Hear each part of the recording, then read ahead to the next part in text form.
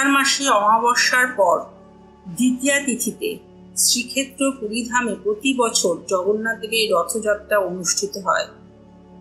শ্রীকৃষ্ণরূপী জগন্নাথ দেব তার বড় ভাই বলদেব ও তাদের বোন সুভদ্রা মহারানীকে সঙ্গে নিয়ে রথে চড়ে নীলাচল থেকে সুন্দরাচলে তার মাসির বাড়িতে যাত্রা করেন। এই যাত্রা নির্বাহ করাকেই সোজারথ বলা হয়। শ্রীক্ষেত্র পুরীধাম হল নীলাচলে এবং জগন্নাথদেবের মাসির বাড়ি গুন্ডিচা মন্দির সুন্দরাচলে অবস্থিত।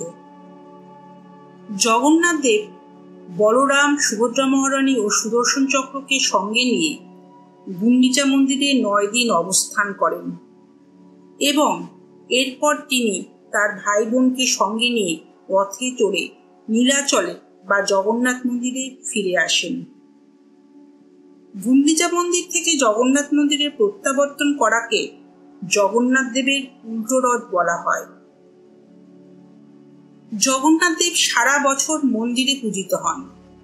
যারা একান্তই মন্দিরে গিয়ে ভগবান জগন্নাথ দেব, বলদেব ও সুভদ্রা মহারানীকে দর্শন করতে পারেন না, তাদের জন্য ও অন্যান্য সকলের জন্য ভগবান জগন্নাথ দেব বছরে একবার রথে চড়ে তাদের দর্শন দেন। জগন্নাথ দেব খুবই কৃপাময়। তিনি তার দু বাহু বাড়িয়ে সকলকে আহ্বান করেন।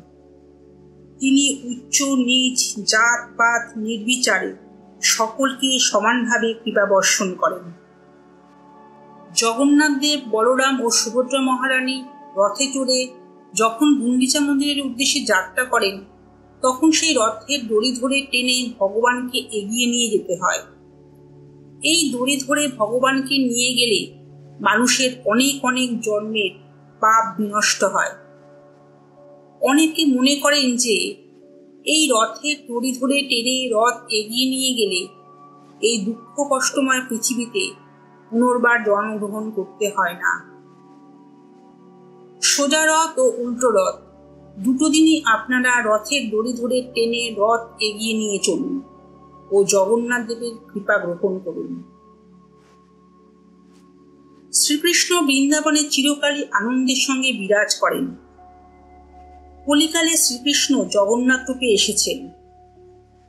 যখন জগন্নাথ দেব সুন্দরাচলে গুন্ডিচা মন্দিরে অবস্থান করেন, তখন তিনি গুন্ডিচা মন্দিরকে বৃন্দাবন মনে করে আনন্দ উপভোগ করেন। সেই জন্য জগন্নাথ দেবকে গুন্ডিচা মন্দিরে দর্শন করা আর বৃন্দাবনে দর্শন করা সমান বলে মনে করা হয়।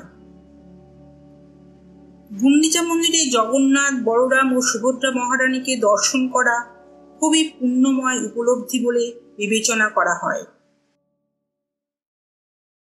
জয় জগন্নাথ, বলদেব ও সুভদ্রা মহারানীর জয়।